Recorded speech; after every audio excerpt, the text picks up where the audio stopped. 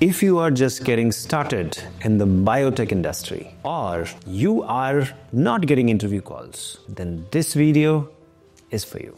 Hey everybody, this is Shekhar Suman from Biotecnika and today we are going to talk about a very important topic and that is how to get more interview calls from the biotech industry. Now, this topic has been dealt in multiple different ways in my previous video also. Some points can be repetitive, but I promise you there are going to be some eye-opening pointers for you which will help you get more and more interview calls.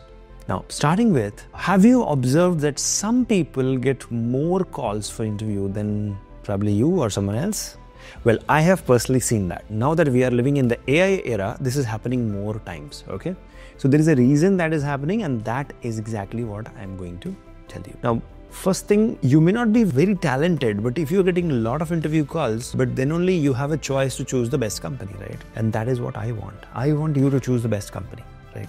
So we did some research and we have observed a trend in last four or five years, but the trend is more prominent now given that now we are into the generative AI era. So more and more HRs are using generative AI as well as AI based softwares to filter the CVs. Now having said that, we have to be better equipped now and we should not just use ChatGPT to design our CV or cover letter, but we have to optimize our CV for the AI era. Now, to start with, if you want to get more interview calls, then you have to think like an AI. Now, generally, what the AI does is you will mention some skills, you will mention some experience, and you will mention some location. Any of these three combination, it will correlate. And when the HR is saying that I am looking for molecular biology postgraduate with two years of experience in Hyderabad, it will show the first five or top 10 based on if you have mentioned these keywords in your CV. So actually the HR never saw your CV also. That's the kind of era we are going to get into now. So you have to now design your CV as per this. How exactly HR will look for my CV. He'll go into that search bar, and now, just like Google, we have search bar in, in, our AI tools. So we can go and write, I'm looking for list of candidates who have bioinformatics experience of minimum two years in Bangalore who can join immediately, and it can flash. So if you have mentioned any of these or all of these pointers, then only you get the job. So that's the first trick I can give you today. Start thinking like AI. Start thinking like how a HR will shortlist using a search bar. You know, the HR of 2020s were using Excel sheet, right? But the HR of 2024, 2025 is using AI. So you have to now optimize your CV for AI. Now, the next point which I would like to give you is yes, there are still 60% HRs who are still using the previous method, which is the Excel sheet method and the reading the and sifting through the resume.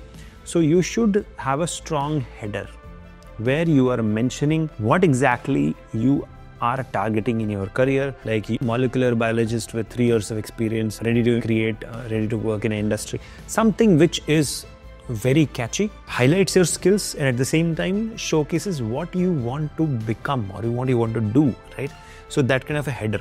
And never forget to include your LinkedIn profile and make sure your LinkedIn profile is properly formatted. Next thing we have is your contact details should be proper. Many a times you do a mistake and that is how you're not getting called. This is the most silly reason people don't get interview calls is because their contact details, their email ID, especially the phone number was wrong or they were unavailable to pick that call, right?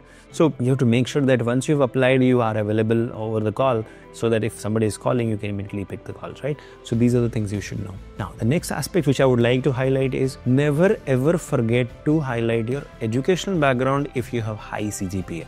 See, CGPAs don't matter actually, but if you have it, flaunt it. If you don't have it, no problem.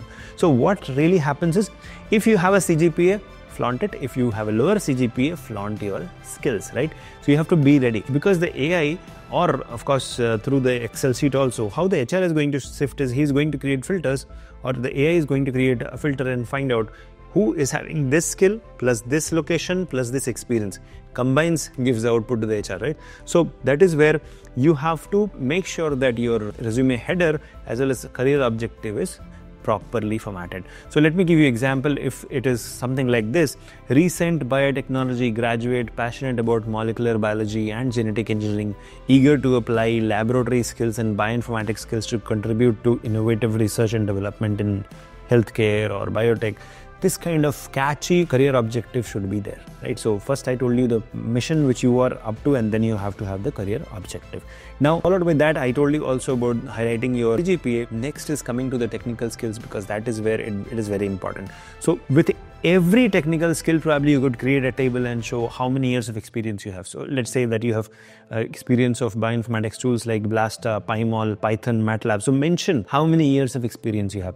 Then laboratory techniques, PCR, ELISA, HPLC, Western blot, spectroscopy, whatever types of spectroscopy. Mention how many years of experience you have, right? And then the soft skills like collaboration, ma- time management, adaptability. Of course, you can't put a you know year to this, but yeah, you can mention that worked in a project where you learned all of this. So you know when you do this, your chances of getting interview calls is higher. And especially you should showcase your technical skill in your cover letter, not just your CV, because cover letter also is read and HRs pay a lot of attention to the cover letter. If the cover letter is not proper, they straight away assume that you don't have communication skills. So you have to make sure that the cover letter is nicely written, but also you should know that if you use ChatGPT to write the cover letter, they already know that you have faked it.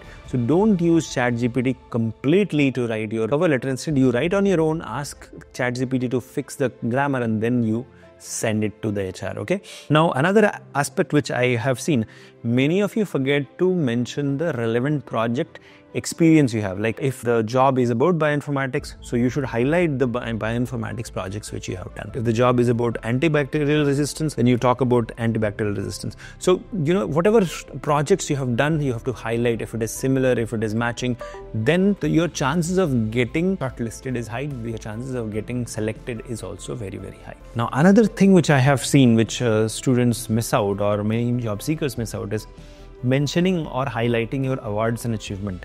So if you forget to mention, because others would not have that, right? So your CV has to stand out. So when you mention that you received the award, whether it is in college, whether you're somewhere, whenever there's an opportunity, win an award and do highlight it on your CV because that gives a very good impression on to the HR that this person is a multi-dimensional person. He's not just you know studious and into academics. He has got other, he has done other, played other roles also because they everybody wants an all-rounder in their company, right? So that is why your chances of getting selected is high if you have presented poster, presented papers, spoken in a conference, or won some awards, achievements, all of this has to be there. Now, moving forward, one biggest turnoff every HR, including me, also has is if there are spelling mistakes in your CV, spelling mistakes in your cover letter. Okay, many students they did BSc botany, they are writing it botany.